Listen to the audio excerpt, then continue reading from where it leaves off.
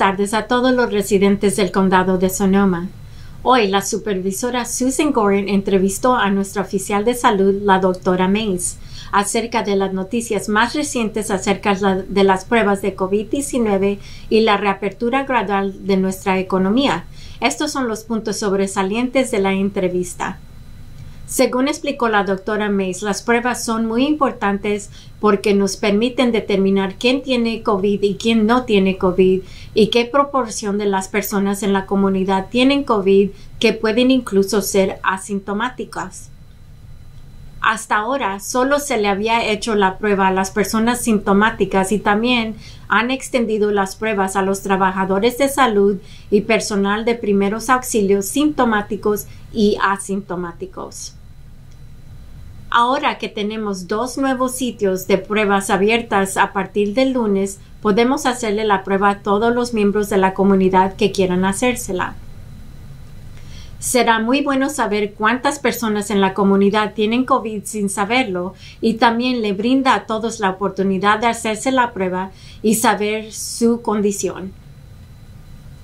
En cuanto al número de pruebas que necesitamos, la doctora Mays dijo que le gustaría que hagamos de 700 a 800 pruebas al día en el condado de Sonoma, lo cual viene de los datos de los Centros del Control y la Prevención de Enfermedades, Harvard y el Departamento de Salud Público de California, que sugieren que se requieren alrededor de 150 pruebas por cada 100.000 habitantes. La doctora Mays indicó que estamos alcanzando esta meta y que nuestro laboratorio de salud público está aumentando la cantidad de pruebas que realizan. Y además de las 120 pruebas en el laboratorio de salud pública, también estamos enviando 250 pruebas adicionales a UCSF para el análisis. A partir de ayer hemos abierto dos nuevos sitios con la compañía OptumServe, con el contratista del estado, una en Santa Rosa y la otra en Petaluma. Y estos sitios nos permiten hacer 130 pruebas adicionales al día, junto con todas las pruebas que están haciendo los hospitales y las clínicas. Esto nos acerca bastante a las 700 a 800 pruebas al día que hemos proyectado hacer. La supervisora Gorin y la doctora Mays también hablaron sobre las modelaciones.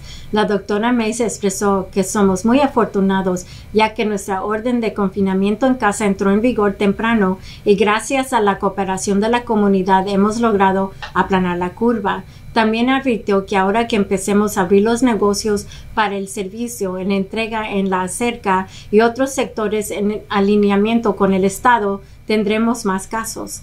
La doctora Mays espera que con el rastreo intenso de contactos podamos diagnosticar todos los casos rápidamente antes de que se diseminen en la comunidad y aislarlos, así como localizar sus contactos, hacerle la prueba y ponerlos en cuarentena. Tendremos un aumento en casos, pero tiene la esperanza que podamos manejarlos. El gobernador ha dicho que el sexto criterio para la reapertura es saber cuándo tengamos que potencialmente restablecer la orden de confinamiento en casa. La doctora Mays explicó que su departamento está mirando todo esto muy de cerca a medida que avancemos, pero que le complace mucho decirles que estamos muy cerca de la reapertura cuando se le preguntó cómo está respondiendo nuestra comunidad en general a las órdenes y la flexibilización de las restricciones, la doctora Mays comentó que las cosas van muy bien. Nuestro director de parques ha estado observando que las personas básicamente están cumpliendo con todas las, las recomendaciones y la guía establecidos en la orden de traer cubiertas faciales al entrar a los parques, mantener el distanciamiento social o físico y asegurar que los parques no estén hacenados.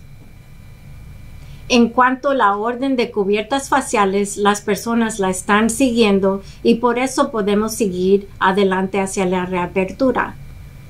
Con respecto a las fases expuestas por el gobernador de su plan de recuperación, la doctora May señaló que todavía seguimos en la primera fase, seguridad y preparación, y por eso estamos aumentando las pruebas y el rastreo intensivo de contactos, asegurando que nuestros hospitales tengan la capacidad para manejar un aumento en casos y que nuestros trabajadores de salud tengan cuenten con suficiente equipo de protección personal. Pronto estaremos entrando a la segunda fase, que es la reapertura limitada de situaciones de menor riesgo en alineamiento con el gobernador y con los condados circundantes y además en base de nuestro propio plan para la reapertura.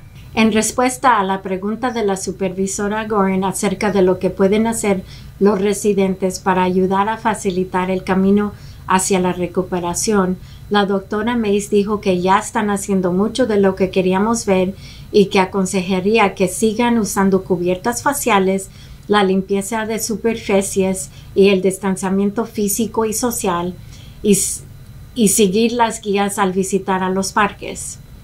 Enfatizó que ya estamos acercando más y más a la reapertura y que si todo va bien podremos permitir que nuestros negocios empiecen a trabajar y abrir gradualmente, lo cual será un gran alivio para nuestra comunidad.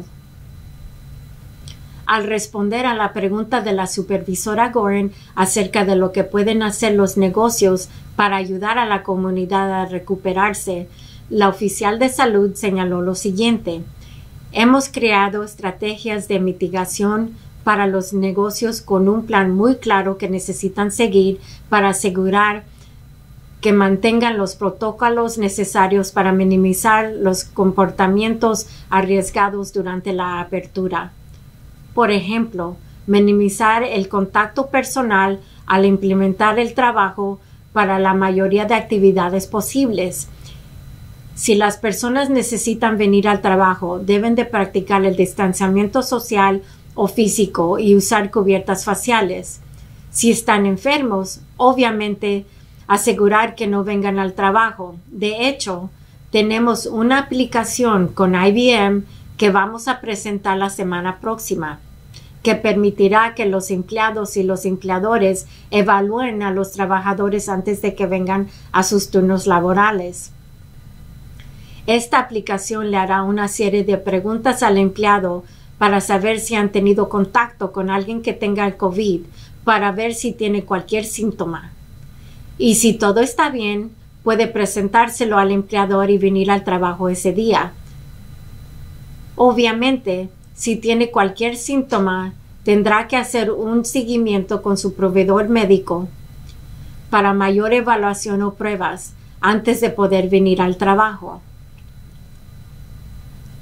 Esta herramienta, será muy útil para las empresas para que puedan asegurar que los empleados vuelvan al trabajo de una manera segura. También queremos asegurar que todos los negocios coloquen a la vista protocolos claros, así como lo están haciendo los negocios esenciales, y que todo esto se haga cumplir. La doctora Mays expresó confianza en que ha implementado un buen plan.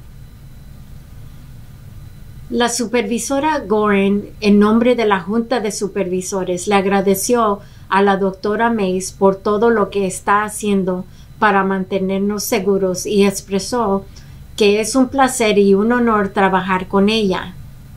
Al igual, la doctora Mays expresó su agradecimiento a la supervisora Goren y a la junta de supervisores por todo lo que ellos están haciendo para mantener segura a nuestra comunidad.